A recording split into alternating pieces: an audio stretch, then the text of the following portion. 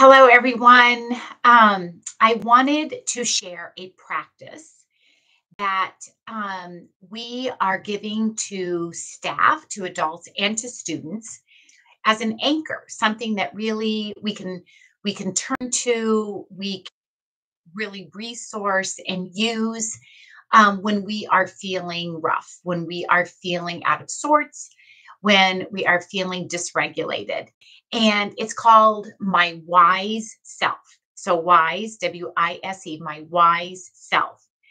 And this was a practice that's been augmented and modified a little bit from Linda Chapman and Allan Schore's work, but we know it's a touch point. So, my wise self um, could be a stuffed animal.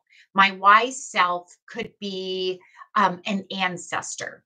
My wise self could be just an object. Um, maybe it's one of, maybe it's my pet at home.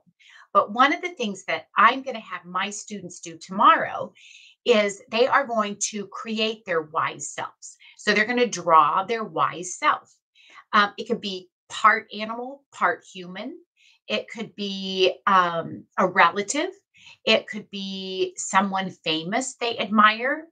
Um, it could be a combination, but they're going to use colors and textures and think about smells. Think of their sensory systems. Like what, you know, what could your wise self give to you?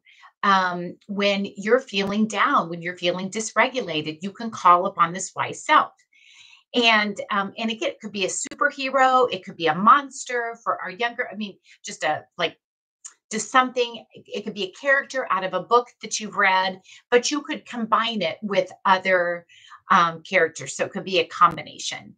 This has been such a critical, fun practice for many of our students. I began using this in the Indianapolis Public School several years ago.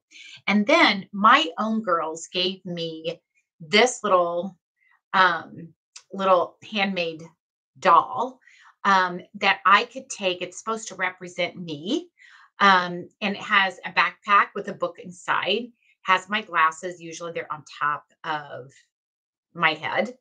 Um, and I love to wear jeans, and I always, not always, but I like to wear a dark black, dark top and my boots.